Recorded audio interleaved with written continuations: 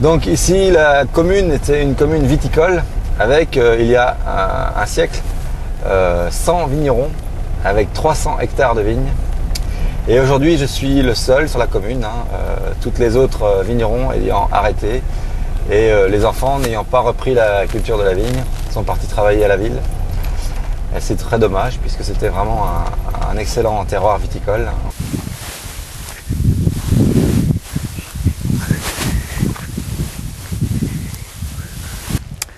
Alors ici, nous sommes sur la grande pièce et donc les vignes sont très basses à cause des vents de mer qui brûlent et les anciens ont toujours gardé les vignes très basses. Voilà, c'est la raison principale. Et nous n'avons pas beaucoup de rendement parce que nous préférons travailler sur la qualité. hein. On peut voir hein, le- le- l'argile qui vient du schiste, hein. c'est tout brillant. le sol est, est souple. Le sol est travaillé ici, donc euh, on a une terre très souple. Et ça c'est important. Plus la terre est souple, mieux c'est pour le vin. Ah, on va. voilà. Elle n'est pas dure. Mm. Et c'est vraiment de. Voilà. Sur le sol de, schiste, avec un peu d'argile en surface. Et ça fait des très bons terroirs. Ah. Voilà. Déjà bien avancé, hein. C'est joli, hein. C'est pas dur, hein, les raisins sont déjà tendres. Voilà. Ah. Hop, pardon, hop.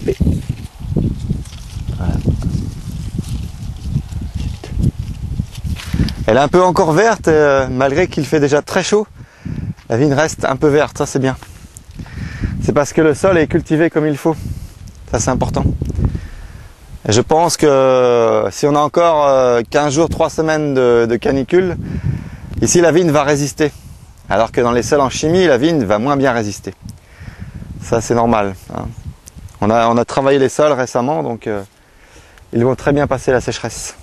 Voilà. Quand est-ce que tu as décidé de, de travailler en bio? Alors, la biodynamie, nous avons commencé en 1993. hein. Euh, avant, on ne savait pas que ça existait. Et du jour où on a commencé, on a converti l'ensemble du domaine en trois années. Et ça se passe très bien. hein, euh. Et donc voilà, c'est vraiment le vin du terroir. hein. Euh, La biodynamie, c'est faire descendre les racines sur le terroir. Et ça, c'est très important pour faire le vin du terroir. Et le vin du terroir, il est fait dans la vigne et pas dans la cave, donc c'est une chose importante. Il n'y a pas de levure qui vienne changer le goût. hein, c'est vraiment le goût de la vigne. Et ça, c'est unique. Ça n'est pas copié. Ah, Voilà.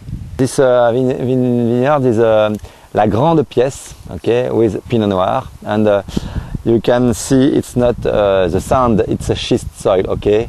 We are near the sea, but it's not sand, it's a schist soil. it's very hard for um, with biodynamic for uh, for travailler, for work in the soil, okay, because very hard. The schist, yeah, okay, very hard. It's very good for the wine. Hop, voilà tout ce qu'on qui est retiré de la vigne, hein, vraiment les, les blocs de quartz et il y a plein, euh, plein dans les parcelles. À chaque fois qu'on cultive le sol, eh ben, il y a des quartz qui sortent hein, naturellement par l'érosion.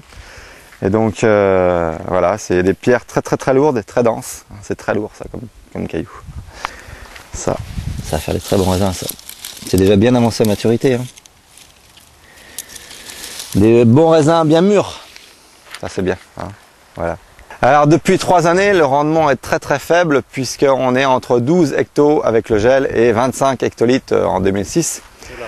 Euh, on espère cette année travailler entre 35 hectos pour les grandes cuvées et 45 pour les génériques, ce serait euh, super. Et tu as le doigt jusque combien? Ah, l'appellation c'est entre 60, euh, 60 et 70 hectolitres Orly. Donc j'ai beaucoup de marge, mais ça ne m'intéresse pas de travailler à 60-70. On, veut faire des vins de qualité et donc des, des vins de terroir. Donc il faut euh, travailler 35-45. Ça c'est super. Et nous sommes tout près de la mer avec le marais qui est juste devant, vous voyez. Hein, et ça c'est euh, une parcelle très ancienne, très cotée dans le monde viticole de Brême. Avec euh, donc les 900 hectares de marais qui sont juste devant. Et on aperçoit la forêt au fond qui est la mer, elle est juste derrière. Mais là on a beaucoup de lumière pour pouvoir le, apercevoir la mer. Voilà, nous sommes bord de mer. Et c'est pour cela que nous avons le l'iode dans les vins. hein. Voilà. Donc la cuvée Chenin. Tu peux expliquer peut-être l'influence de la mer sur les vins?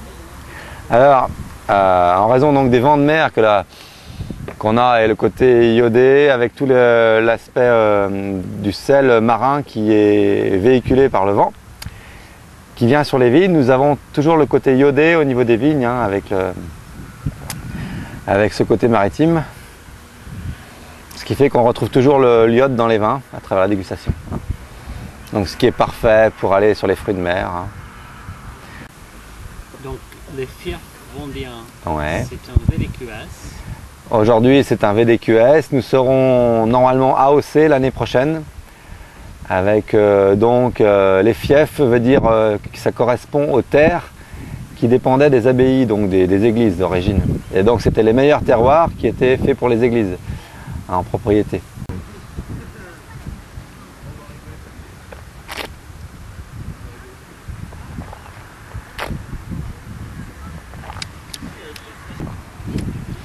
Le côté frais et minéral du vin avec les fruits de mer, ça c'est super.